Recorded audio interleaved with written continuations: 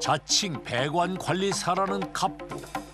원인이 뭔지 내시경 카메라로 의뢰인님한테 먼저 보여드려야죠. 먼저 내시경 카메라로 배관 속을 확인해 보는데 보다 정확한 원인을 파악하기 위해선 가장 먼저 배수구 내부부터 분석해야 한답니다.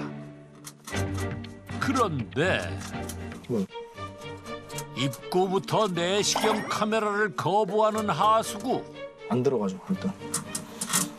진입조차 쉽지 않은 상황.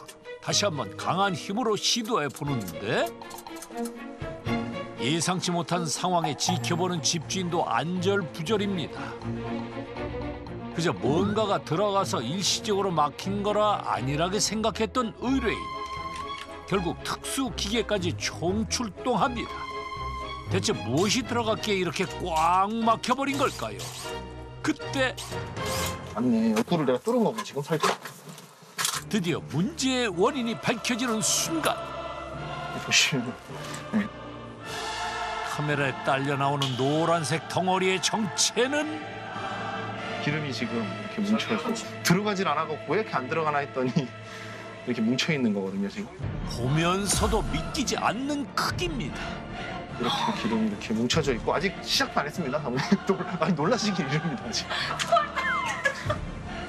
아, 너무 심각하다 진짜 얘가 문제인 줄 알았어요 이게 애꿎은 주름관만 의심받았네요.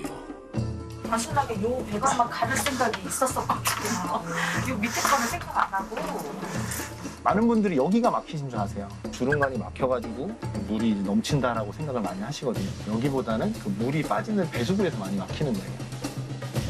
대부분의 막힌 문제는 주름관과 배수관이 연결되는 지점에서 발생한다고 하는데요. 진짜 작업은 이제부터 시작입니다. 커다란 기름 찌꺼기가 막고 있던 배수관 내부 모습이 드러나는데 틈이 아예 없고 입구에서부터 꽉 막혀 있어요. 그냥.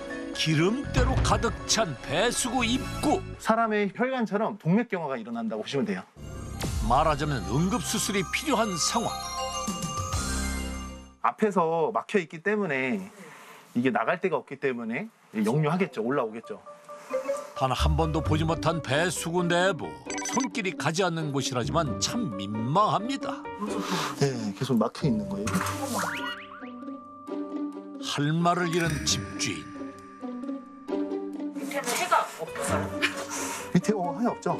여기 틈 사이로 이런 넘친 물들이 밑으로 쏟아져요. 그렇게 되면은 이 여기가 누래지거든요. 그죠 그러면은 위에서 물어줘야 돼요. 하마터면 수리 비용 폭탄을 맞을 뻔했습니다.